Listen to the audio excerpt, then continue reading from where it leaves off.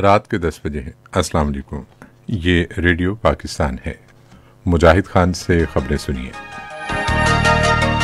अहम खबरों का खुलासा।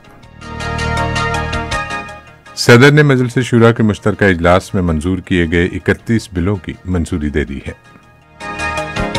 वज़ीर आज़म ने गंदम, यूरिया, चीनी, आटे और पेट्रोल की स्मगलिंग और मनी लॉन्ड्रिंग रोकने के लिए हंगामी इकदाम पर ज़ोर दिया है। तहरीक इंसाफ की कोर कमेटी का इजलास कल इस्लामाबाद में होगा। भारत के गैर कानूनी जेर कब्जा जम्मू कश्मीर में भारतीय फौजियों ने अपनी रियासती दहशतगर्दी की जारी कार्रवाइयों में आज जिला पुलवामा में दो और कश्मीरी नौजवानों को शहीद कर दिया। और अब खबरें तफसील के साथ। सदर डॉक्टर आरिफ अलवी ने मजलिस शुरा के मुश्तर इजलास में मंजूर किए गए इकतीस बिलों की मंजूरी दे दी है। निजकारी कमीशन तरमीमी बिल 2021 इंसदाद असमत दरी, तफ्तीश समात तरमीमी बिल 2021 इस्लामाबाद रेंट रिस्ट्रिक्शंस तरमीमी बिल 2021 और बदनवानी की रोकथाम के तरमीमी बिल 2021 समेत 31 बिलों की मंजूरी दी गई। सदर डॉक्टर आरिफ अलवी ने पेशावर सहाफ़ियों की ज़िंदगी और हकूक़ के तहफ़ के लिए सहाफ़ियों और मीडिया के तहफ़ के तारीखी बिल 2021 की बाबा मंजूरी दे दी है। इस हवाले से आज दोपहर ईवान सदर इस्लामाबाद में एक तकरीब का अहतमाम किया गया।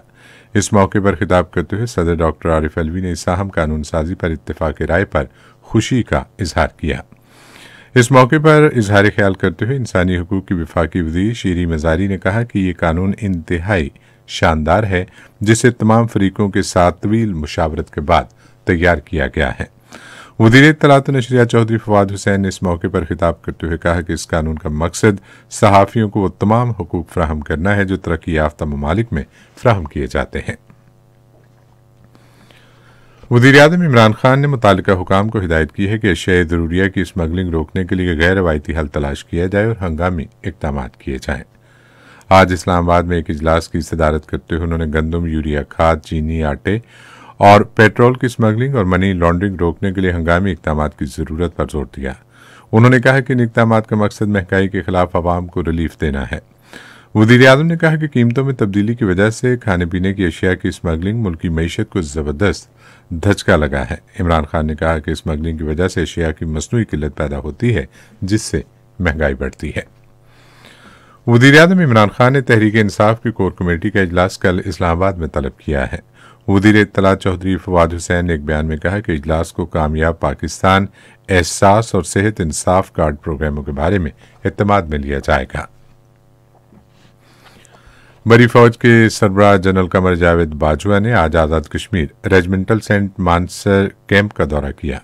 फौज के शोबा तालुकात आमा के मुताबिक आर्मी चीफ ने यादगार शोहदा पर फूल चढ़ाए और फातह खानी की।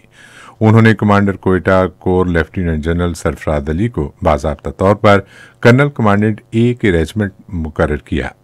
आर्मी चीफ ने शुरा से खिताब करते हुए आज़ाद कश्मीर रेजिमेंट की शानदार तारीख पेशा वाराना महारत और कारकर्दगी और जंगी सलाहियत की तारीफ़ की। सेक्रेटरी खारजा सोहेल महमूद ने आज इस्लामाबाद में मौजूद इस्लामी ताउन तंजीम के रुकन ममालिक के मिशनों के सरबराहों को अफ़गानिस्तान की सूरत हाल पर कौंसिल के वजरा खारजा के गैर मामूली इजलास के बारे में ब्रीफिंग दी। सेक्रेटरी खारजा ने बताया कि सऊदी अरब ने गुजशत माह की उनतीस तारीख को इस्लामी ताउन तंजीम के सरबरा इजलास के सदर की हैसियत से अफ़गानिस्तान की सूरत हाल से मुतालिक इस्लामी ताउन तंजीम के वजरा खारजा का गैर मामूली इजलास बुलाया था।